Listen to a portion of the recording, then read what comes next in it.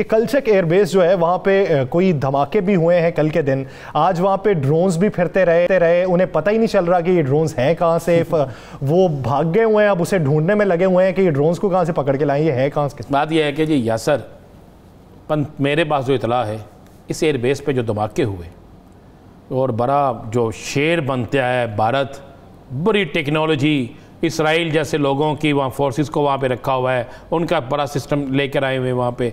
तो इनको अंदाज़ा होना चाहिए कि कश्मीर के अंदर इनके साथ हुआ क्या है।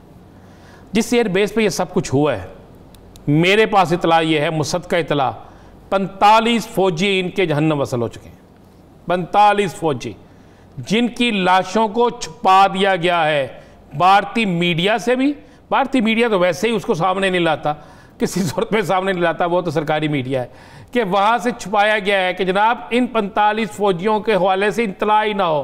पैंतालीस फौजी हरा के कोई पचास से जायद ज़ख्मी हैं और तबाही बेानतहा हुई है। उस तबाही के बाद इन्होंने क्या किया? उस तबाही के बाद इन्होंने बेचारे मजलूम कश्मीरियों पर क्यामत ढा दी। एक फुटेज आपको दिखाते हैं, यासर, कि किस तरीके से ये आवाज़ सुने इस फुटेज में। कि इन कश्मीरी बेचारों के मोहल्लों में जाले गए हैं, आप फुटेज देख रहे हैं, उन पर फायरिंग किस तरह कर रहे हैं? फायरिंग की जा रही है, धमाके किए जा रहे हैं, उनके घरों पे बम मारे जा रहे हैं, गोलियाँ चलाई जा रही हैं बेानतहा जुल्म किया गया, कई नौजवानों को अगवा कर लिया गया, औरतों के घरों से उठा लिया गया, बूढ़े ज़यीफ़ अफराज जो थे, उनको पकड़ लिया गया, उनको उनको पकड़ कर तफ्तीश क्या कर रहे हैं कि जनाब, आपने ये हमले किए हैं। उनको बेचारों को पता ही नहीं, हमले किसने किए, किस तरह हुए, वो अपने घरों में बैठे हुए थे। और एक हज़ार फौजियों के साथ, ए, उनमें पुलिस एहलकार लहदा है उनके साथ ये पूरे इलाके को सील कर दिया गया। फायरिंग की गई। अच्छा कर क्या रहे थे? बाकायदा घरों को जला रहे थे, बम फेंक रहे थे और ये इतना खौफ व हरास पैदा कर दिया वहाँ पे कि जिसकी इंतहा कोई नहीं है। अगर इतने ही सच्चे हैं, इतना ही इनको इलम था तो उस पैंतालीस फौजियों की लाशों को भी सामने लाए।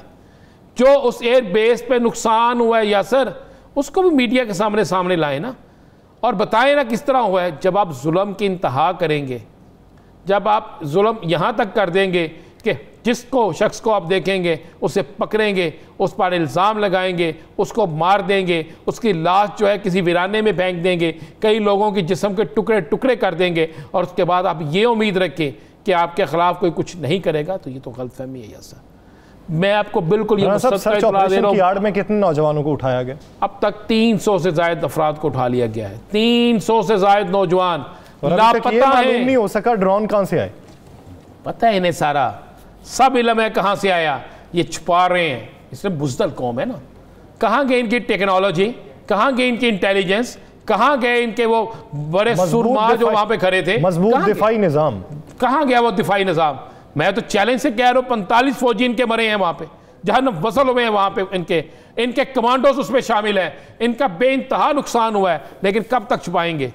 ये रोज़ाना चलता रहेगा सिलसिला। इसलिए जितनी मर्ज़ी एपीसी बुला लें जितना मर्ज़ी दुख दर्द दुनिया के सामने आप दिखावा कर लें लेकिन जो जुल्म सितम है उसका हिसाब एक दिन तो होना है।